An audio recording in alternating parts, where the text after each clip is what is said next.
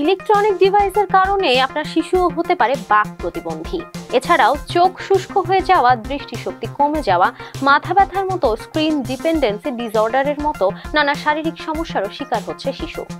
আপনার শিশুও যদি ইলেকট্রনিক ডিভাইসের প্রতি আসক্তি হয়ে থাকে, তবে এই ডিভাইস ব্যবহারে শিশুর ওপর ঠিক কতটা খারাপ প্রভাব পড়ছে আসুন জেনে আসি বিস্তারিত। অভিভাবকের সময় স্বল্পতায় শিশুকে ব্যস্ত রাখতে সহজ সমাধান হিসেবে এসব ডিভাইসকে বেছে নেওয়া হয় অধিকাংশ পরিবারে। কিন্তু এই সহজ সমাধান কঠিন সমস্যা হিসেবে ধরা পড়ে অল্প কিছুদিনের মধ্যেই। মোবাইল ফোনের মতো ইলেকট্রনিক ডিভাইসে আসক্তির কারণে ধীরে ধীরে শিশু হয়ে ওঠে অন্যমনস্ক। সরাসরি কারোর সঙ্গে কথা বলতে চায় না সে। অন্য কোনো খেলাধুলোই আগ্রহী হয় না।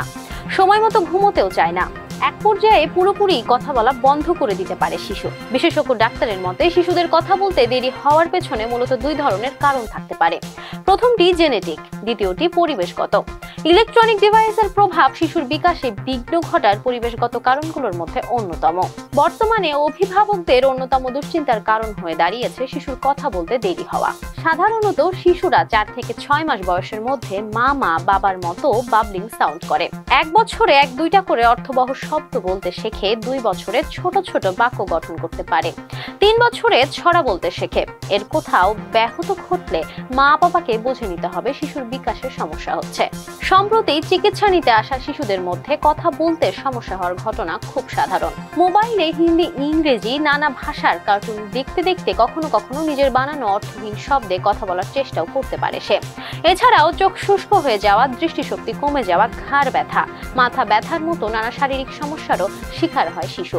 ডিভাইসের প্রতি আসক্তি থেকে স্ক্রিন ডিপেন্ডেন্সি ডিসঅর্ডারেও ভুগতে শুরু করে শিশু। শিশুর এই বিকাশকালীন সময়ে কোনো সমস্যা খেয়াল করলে দেরি না করে সাথে সাথেই বিশেষজ্ঞদের পরামর্শ নেওয়া উচিত। শিশুর কথা বলতে না চাওয়া, ইলেকট্রনিক ডিভাইসে আসক্তি, ঘুম কম হওয়া ইত্যাদি লক্ষণ দেখলে জানাতে হবে ডাক্তারকে। ইলেকট্রনিক ডিভাইস যেন শিশুর বিকাশে বাধা হয়ে না দাঁড়াতে পারে, সেজন্য সবচেয়ে বেশি তৎপর হতে হবে শিশুর বাবা মাকে শুরু থেকেই শিশুকে একান্ত সময় দেওয়া, তার সঙ্গে সারাক্ষণ কথা বলা, অন্যান্য শিশুর সঙ্গে খেলতে নিয়ে যাওয়া ইত্যাদির অভ্যাস গড়ে তুলতে হবে তাদের। অভিভাবকরা উভয় কর্মজীবী হলে দুজনের সময় ভাগাভাগি করে শিশুকে সঙ্গ দিতে হবে। শিশুর মঙ্গলের জন্য জীবনযাপন পদ্ধতিতে আনতে হবে পরিবর্তন। প্রযুক্তি বিপ্লবের এই যুগে নতুন প্রজন্মের শিশুকে ইলেকট্রনিক ডিভাইস থেকে পুরোপুরি দূরে সরিয়ে রাখার কোনো উপায় নেই। নিয়ম মেনে শিশুকে মোবাইল বা অন্যান্য ইলেকট্রনিক ডিভাইস দেওয়ার পরামর্শ দেন বিশেষজ্ঞরা। যেমন তিন বছর পূর্ণ হওয়ার পর মোবাইল, ট্যাবের মতো ইলেকট্রনিক ডিভাইস দেওয়া যেতে পারে শিশুকে। অভিভাবকের তত্ত্বাবধায়নে দিনে ঘণ্টা খানেকের জন্য এসব ডিভাইস ব্যবহার করতে পারবে শিশু। দেখতে হবে শিক্ষণীয় প্রোগ্রাম। এছাড়াও ঘুমের আগে দেওয়া যাবে না ইলেকট্রনিক ডিভাইস।